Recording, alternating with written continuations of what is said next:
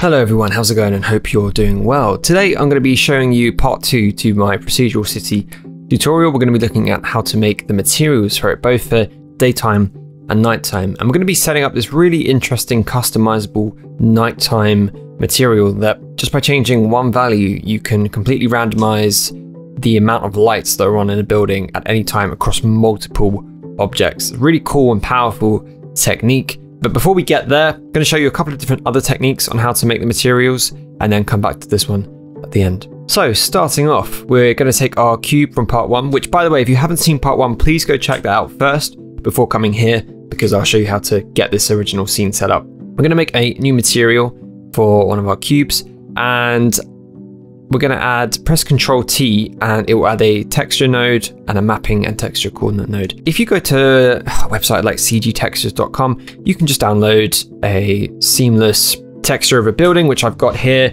As you see, I've got a daytime version and a nighttime version of it, which you see if we apply here and have it unwraps. To be honest, it looks all right because it's seamless. It will wrap all the way around the building and will look okay look all right. But you'll see it's on the roofs as well, and it's it's not looking too too great. Plus, the material is completely flat. There's no reflection on the windows, nothing like that. So, how are we going to fix this? Well, firstly, let's start off with the nighttime material because that's sort of a, a more visually easy way to understand this. So what we're going to do is switch over to a nighttime version of the texture and we're going to add a color ramp node as well as a emission shader. We're going to connect the texture color into the color ramp. We're also going to add a mix shader and connect our principled BSDF and our emission together. Now, as you'll notice, the factor is either changing from complete emission value, which if we turn it up here, you can see, or to the just the image on its own. But obviously that's not what we want. We want the lights on the material to be emitting the emission shader, and then everything else to just be flat. So what we're going to do is use this color ramp, plug that into the factor, and because it's using the texture we've input, we can actually use the black and white values of that material in order to mask out the emission. Now this is reversed, so as you can see the lights are dull and the building's letting out light. So if we switch these over on the color ramp, there we go. Basically the lighter color from the windows is now emitting that bright color from the emission shader and then the black values of the rest of the building is not. It's plain, it's just nothing, it's just that principled BSDF. We change the color on the emission, you can see a bit better what's going on, turn that emission up, and very, very basic and not very good. And also the roofs, everything's been UV wrapped the wrong way. So what we want to do is turn this array modifier off and just select the roof panels only. Just make sure you get all of the faces there. And we just want to add a, another material in here and I've already made this concrete material before, but you can just add a plain material. All it is is a principled BSDF with a concrete image texture applied. And that's all it is, just to create that sort of plain building look. And now all of the roofs will update on the city because it's using that procedural node setup that we set up in the last video. So that's looking much better. There's no lights coming out of the roofs. And we also want to apply this to our secondary building as well. So let's apply that same material and if we just unwrap it, move it around a bit, you'll see that, yeah, basically anywhere where there is a window with light coming out of it, it is adding that emission from it. And then anywhere where it's just plain dark with the brickwork, there is no light coming, and it's just the texture on its own. Now this is great, this is right. Um, that's one way of doing the nighttime texture. Let's have a look at how to do the same but with glass windows during the day. It's basically the exact same technique except we're going to remove the emission and replace it with a glossy shader for reflection. So if we switch out the material for a sort of daytime building texture, remove that emission and put a glossy shader in there and do exactly the same setup as we had before, except we're just going to plug a glossy in instead of the emission, set that up, and then just play around with the color ramp as much as you need to, maybe add a brightness and contrast node in between the texture and the color ramp as well, just to have a bit more control, play around with it as much as you need to. And you, I mean, this isn't the most accurate way of doing it, but it's if your base material has enough of a contrast in there, that should work. Ideally, really, you'd want a roughness map to match with your texture.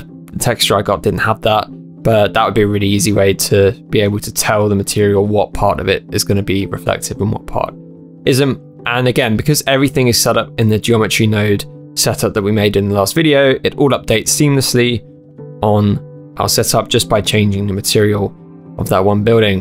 And this looks kind of like a sort of futuristic, sort of Neo Tokyo vibe in daylight. And yeah, that's one way of making these sort of daylight and nighttime materials, but there's a much better way of doing it. There, there is a much better way of doing it. I'd recommend doing that way if you want to speed things up, but let's have a look at doing it uh, the more effective way. So what we want to do, let's go to our tool building over here and we just want to apply that base concrete texture to the whole material.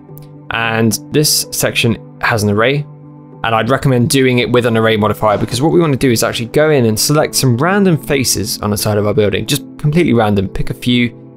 And what we want to do is add a new material in here, just called this one windows for now, and we're going to assign that. And you'll see it's going to repeat all the way up the side of the array. But because we've only done it on one side of the building, when we look at our geometry node setup, yeah, it's missing from on the other side. So just going to speed this up here. We're going to quickly go around the other sides, click a few faces, assign that Windows material. And it's looking pretty good. Now all four sides of the buildings have some windows on them. And if we bring the roughness down and bring the metallic up, we'll start to get a sort of nice glass looking material. And it's looking all right. However, every building is basically exactly the same on each side.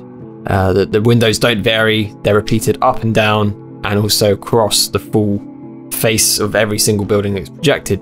And that's not too bad for just the windows on their own, but we wanted to add some lights to them, we could just change that window material to an emission shader. And there we go, we have the lights there because it's all basically duplicating upwards on the array and then obviously on the geometry node. But how do we create even more variation? That's what we want to do. We want to randomize this as much as possible because no building has the same amount of lights on. So in theory, all we want to do is mix a glossy shader with an emission shader. So let's get that glossy shader, make the roughness, yeah, 0.1, 0.2, add a mix shader in there and blend these two together because even if a light is off, we still want there to be a reflection from the glass. Now again, this mix shader on its own is either switching between all the light on or just glass on its own, which is not what we want. We want there to be some with the emission coming out, some with the glass. But before we do that, we want to add a bit of color variation as well because not all lights are exactly the same color. So what we're going to do is add this color ramp and add a few colors and change the blend mode from ease to constant. So we have sort of solid colors And let's make an orange, bring that along there. Let's add another one, change that to a sort of a reddish orange color. And then let's see, yeah, let's go one more and make it a more pinky, pinky color. Now, obviously nothing's happening here. It's either, it's all orange. And make sure you change this constant. So what we want to do is just randomize these colors a bit because yeah, we don't want them all to be the same color. How do we tell the objects how to do that? Well, let's add an input and let's add a object info in here. And you'll see there's a randomize or random input. If we put that into the factor, there we go. You'll see it's basically using the object info of random positioning in 3D space to say which part of that color ramp it's going to use. And let's just dilute these colors a bit so they blend together a bit better. So they kind of look like they're within the same sort of color scheme. And that's yeah, that's looking a bit better. And there you go, just to add a bit of variation in the color, just so it's not all the same, because then it's a bit too boring, a bit too uniform.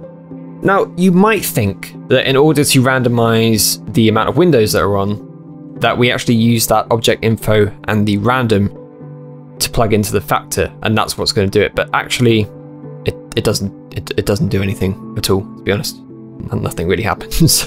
uh, which I thought would be the, the, case. I thought it would do something, but no, it, it's not really working in that way because the object info is different because this is just one object and it, it, it's we need to tell it to use the UV texture to displace the lighting rather than the actual physical positioning of the material in 3D space, like the lighting is. The color of the light between each buildings is different per building, but we want this mask to affect the actual texture. So let's add a color ramp in. Now let's also add a math node in as well. I want to change that to multiply add.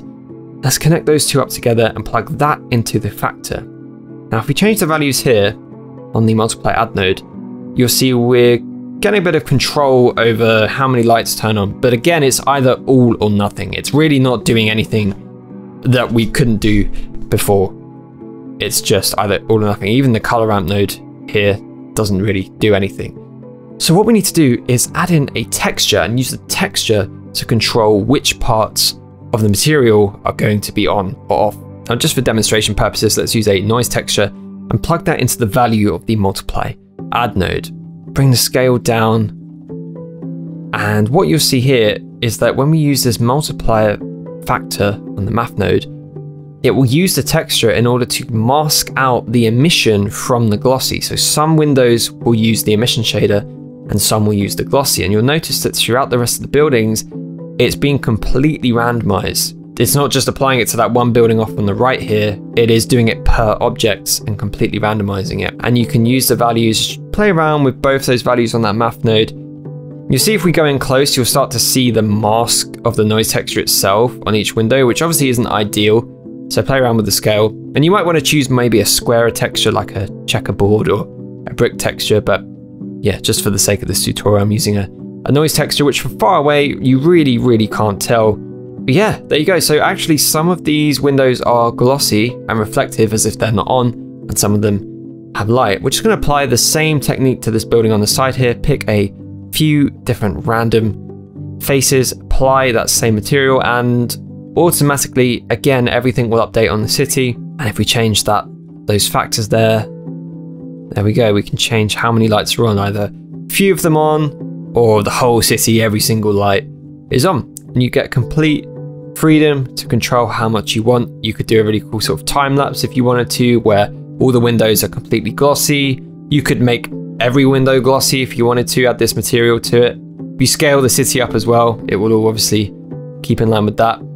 Um, and then yeah, you could do sort of a time lapse where you can keyframe that factor. So over time, it goes from all the windows are glossy, and then a few lights turn on here and there with the emission, and then eventually all the lights are on, and everything's emissive, and you've got a full city, full like neon city, and it looks really cool. So that's it. A couple of techniques there. The latter technique, obviously, being I think the best way to create completely customizable way of showing city lights on buildings, allowing you to control them. There is another way to do it with geometry nodes to control individual sections of a building, but that's way too complicated for this tutorial, and I don't want to get into that because it that needs a whole video on its own. So I will go into that on another video, but I hope for now this was a really quick and easy way to set up some materials on your buildings. If you have any questions, please leave them in the comments below. That's it from me. If you enjoyed the video, please give it a thumbs up and subscribe to the channel for more content. Thank you very much. I'll see you all in the next video.